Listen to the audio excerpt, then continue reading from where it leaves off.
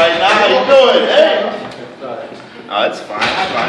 We're here at El Boxing Party with Pablo Ramos. Pablo, how are we doing today? Fine, fine. How are? Excellent. Great. How are you doing, Jason? Great, great. I'm not going to be every day. Okay, so what we're here to talk about specifically is Pablo Ramos's percussion program here at El Barrio Boxing. And uh, Pablo, first, please talk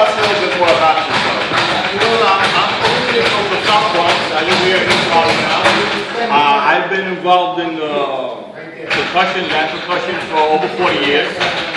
Uh, I started, uh, I was, as far as I, back as I can remember, growing up in uh, Brook Avenue.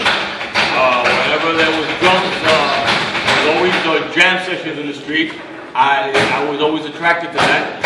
And listening to the music, listening to the music. My, my father always uh, was a big music lover. And it's just, uh, it's in your blood. You know, it's something that you love and uh, you grow up with it. It's part of your life. I've been listening to music uh, for all my life. And uh, I decided to uh, play, not just listen. Okay. Yeah. And uh, how about your experiences in uh, Puerto Rico, the military, and Panama? Well, when, when I was in Panama for four years, uh, I, I played in the carnivals there. I, I, did a, when, I had a chance, that's why I basically uh, fine-tuned. I, let's say if I, uh, I started playing around the age of 14, and when I got to the service, I was around 19 years old. I went to Panama for four years, and I learned to play there uh, my spare time with uh, some of the fellow soldiers. There were a lot of Puerto Ricans uh, in, in the army there. Uh-huh. And we would spend our spare time listening to music and playing drums Yes, sir. to, to remind us of things back home.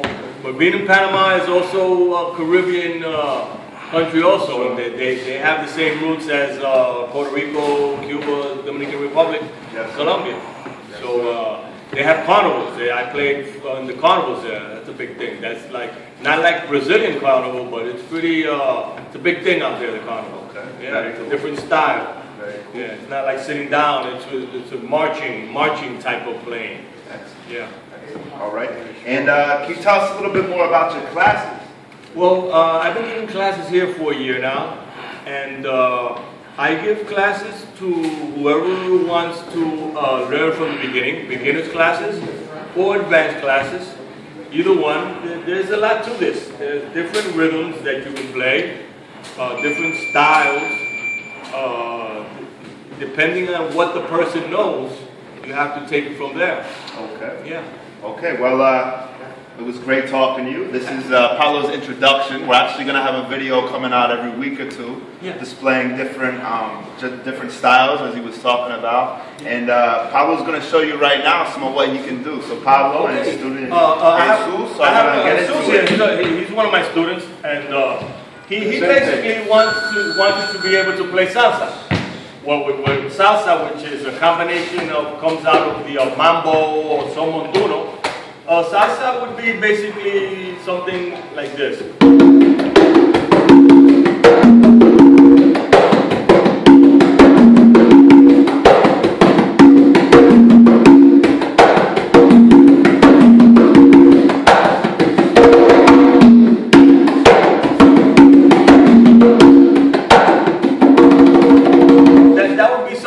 Modern but I also teach, and which is my favorite, I, I'm more of a folkloric uh, drummer. Uh, Cuban rumbas, Puerto Rican bombas, uh, assorted African orientated rhythms. Uh, for example, you have uh, the rumba is, uh, would be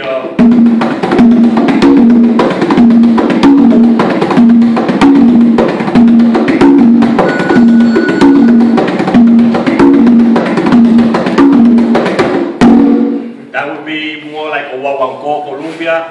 You have uh, also uh, Abakuá, which is a more Africanish uh, type rhythm. Would be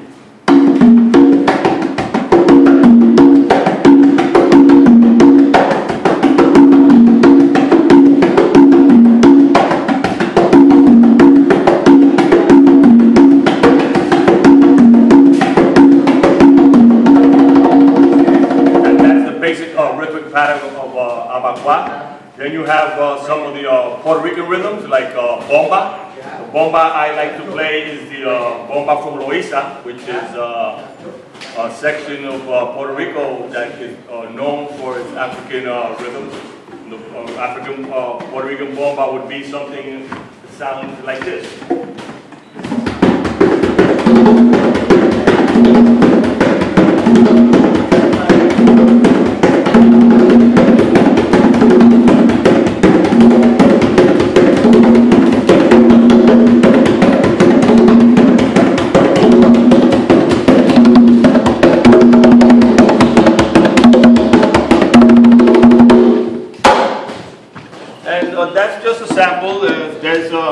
Many more rhythms to learn.